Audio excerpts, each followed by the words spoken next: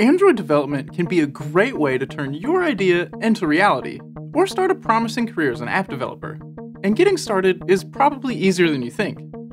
These days, Android development is done with a tool called Android Studio. Android Studio is kind of like the Microsoft Word of writing Android apps.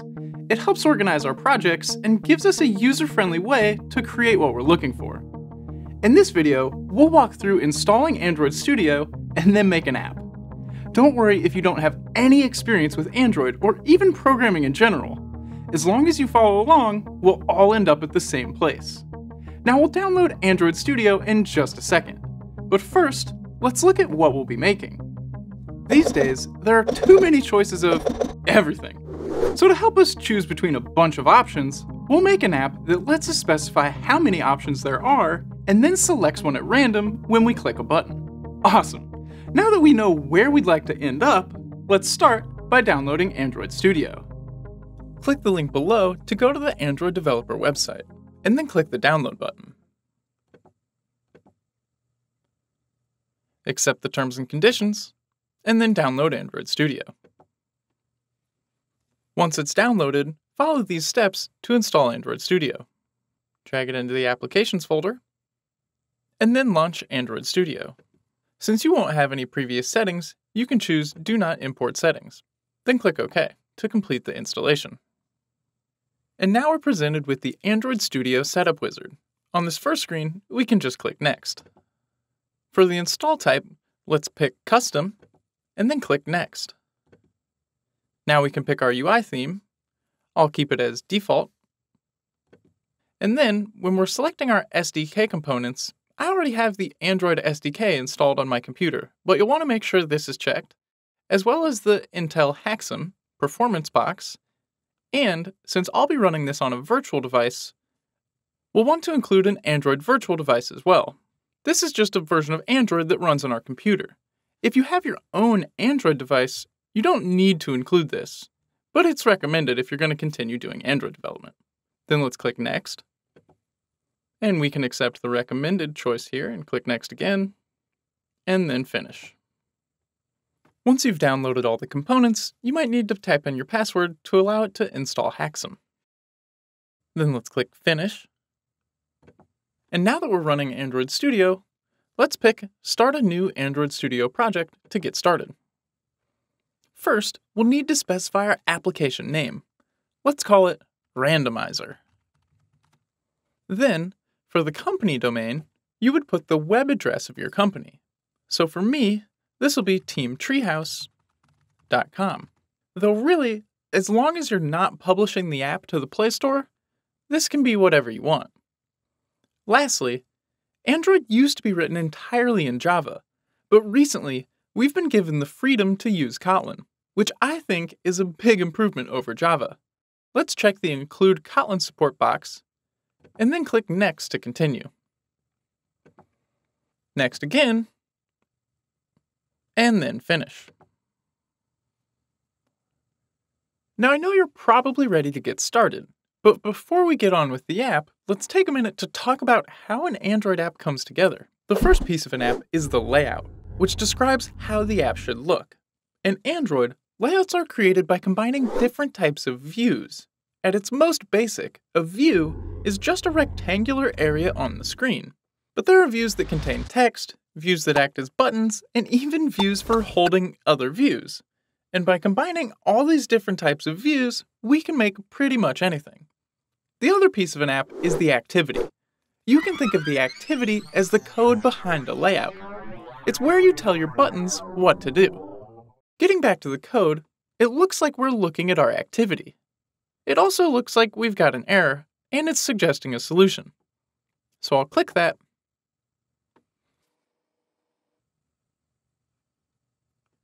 Accept the agreement and click Next. And then Finish. That looks much better. Now, I'll take a second to just make my screen a little easier to see. And make my font size just a bit bigger. Okay, so Android apps have two parts, the layout and the activity. And right now, we're inside the activity.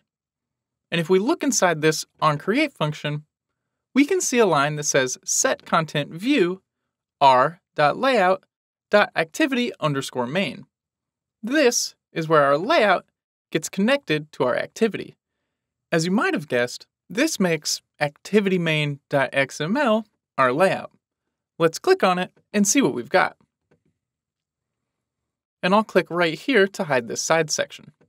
We can bring it back by clicking the project pane. On this screen, we can create our layout by dragging and dropping views. We can also delete views by selecting them and then hitting backspace. Let's get rid of this Hello World text view and then start adding some views of our own. So click it and backspace. The views are up here on the top left. So if we drag out a button, we'll get a button. Now, one thing to call out is that we're putting these views inside of another view called a constraint layout.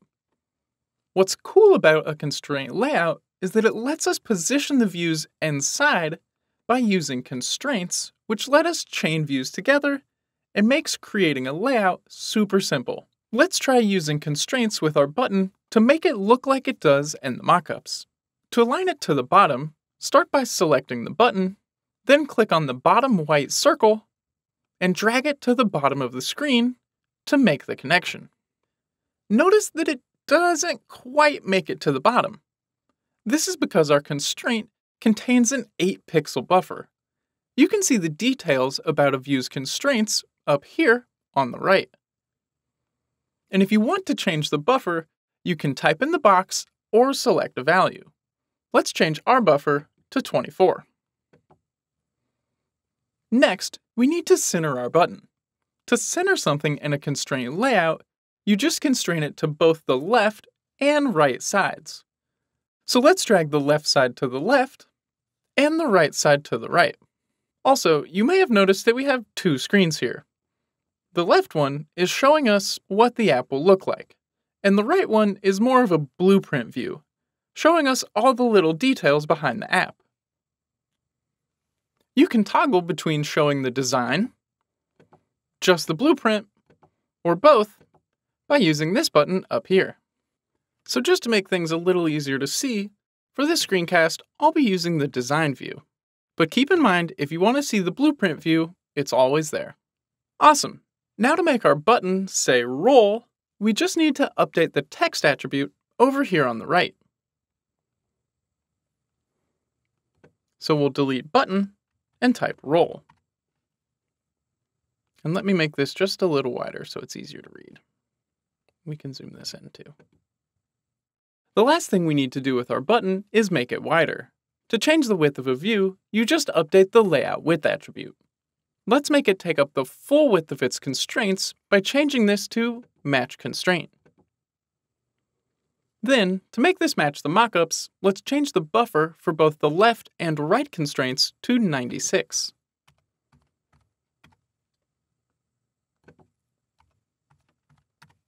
Now that we've got our button, let's add our selector. In Android, that type of view is called a seek bar. To find it, click on Widgets, and then drag out a seek bar discrete. Then let's constrain the bottom of the seek bar to the top of our button and the sides to the sides of the screen. Let's also update the buffers for those constraints to be 32 for the sides and 24 for the bottom.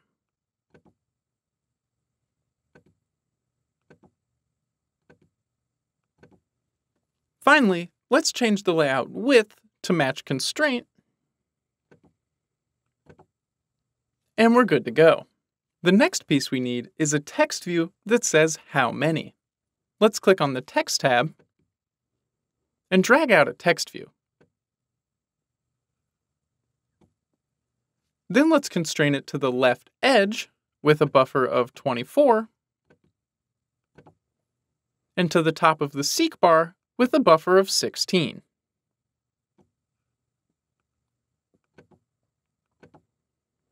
Last but not least, let's change the text to how many.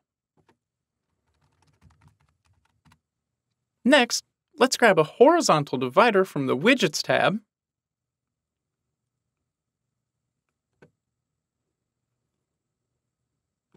and constrain it to the top of how many with a buffer of 16.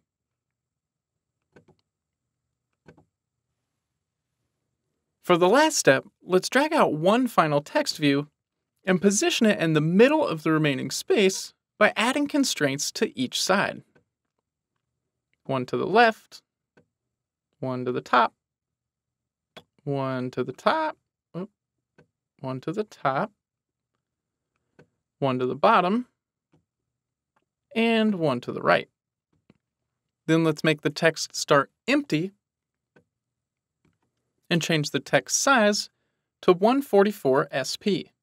If text size isn't visible over here on the right, click View All Attributes, scroll down all the way to text size,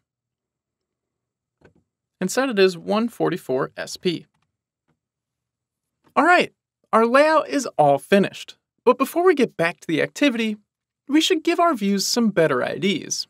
Let's pivot back to View Fewer Attributes and change this last text view from Text View 2 to Results Text View. And then let's click on the button and change its ID from Button to Roll Button. and click Yes. Okay, let's flip back to main activity and start wiring everything together. We've already seen that we connect the activity to the layout with this Set Content View line. Let's add some space below that, and then we need to create variables to represent our views. In Kotlin, there's two ways to create a variable, val or var. Val is for things that don't change, and var is for things that do. For example, if we were creating a person, their birthday would be a val, since it doesn't change. Whereas something like what they want for dinner would be a var. Let's start by creating a variable for our roll button. Let's leave a space after set content view, and on the next line, type val roll button and set it equal to find view by ID. And then inside these two carets, let's type button and hit enter to make sure it gets imported. And then inside the parentheses, we'll put the ID of our button after r.id. So r.id dot roll button. This finds our roll button from the layout and assigns it to a new variable named roll button. Now let's do the same thing for our results text view and our seek bar. Val results text view equals find view by ID, and we can hit enter to autocomplete that. And inside the angle brackets, we'll need to make this one a text view and use the ID r.id dot results text view. Then for the seek bar, val seek bar, and this equals find view by ID. And in the angle brackets this time, we'll put seek bar. Make sure to hit enter so it imports itself automatically. And then for the ID of the seek bar, it's r.id, and it defaulted to seek bar. Now that we've got access to each of these views, the next thing we need to do is make something happen when we click on a button. Let's add a space and then on the next line, let's type roll button dot set on click listener. And choose the option with the brackets. Then hit enter to give us more space in the brackets. Inside these brackets is where we'll specify what should happen when we click on our roll button. First, we'll get a random number based on the value of the seek bar. And then we'll set that random number as the text of our text view. So let's create a new val named rand and set it equal to random and hit enter to make sure it gets imported. Then parentheses dot next int. And pick this option where we pass in an integer to bound it. This will give us a random integer from within a certain range. Let's type seekbar.progress to have it generate a random number between 0 and the value of our seek bar. Then, on the next line, let's set results text view dot text equal to rand, which is our random integer, dot to string. Since rand is an integer, we need to turn it into a string before adding it to our text view. And that's it. Now, to run the app, let's click on this play button up here.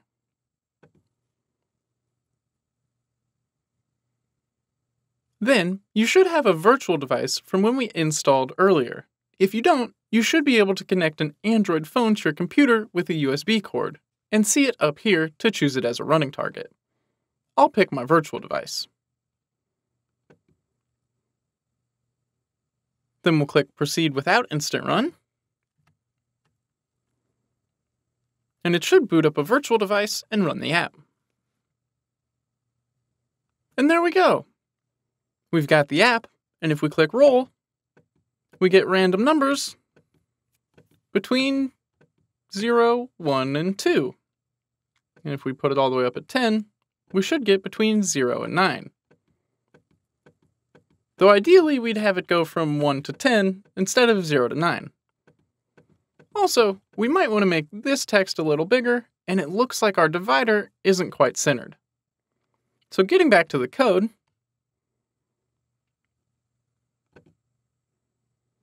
First, to make it show a number from 1 to wherever our progress bar is instead of starting at 0, we'll just add 1 to this number right here.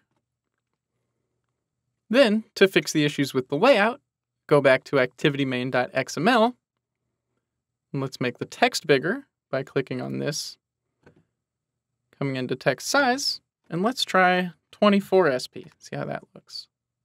That looks a little big. We'll back that off to 16. That looks better. Then for the horizontal divider, if I can click it, there we go. We'll just want to constrain that to the right and to the left. And we can check if we got it constrained by looking at the constraints up here on the right. Looks like we're still missing that left constraint. There we go. All right. Then we can run the app again by clicking on the green play button. And if you'd like it to not show this dialog each time you run an app, you can check this box down here.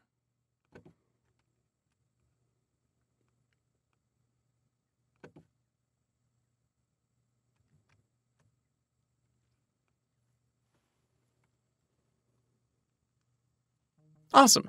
Now if we run the app again, it looks much better, and we get 1, 2, and 3 instead of 0, 1, and 2. Great job creating the app. I know that was probably a lot to take in, and you might be feeling a little bit overwhelmed. But don't worry, that's pretty much everyone's experience. It takes time and a lot of practice to get good at anything. And while you may not have a deep understanding of Android, you're off to a pretty good start. I'm a teacher at Treehouse, an online school where you learn at your own pace. At $25 a month, you get access to the Beginner Android Development Track, which has on demand content that includes videos, quizzes, and code challenges teaching you the ins and outs of Android one step at a time. Click the link at the top of the description to start your 7 day free trial at Treehouse and get started on the Beginner Android Development Track.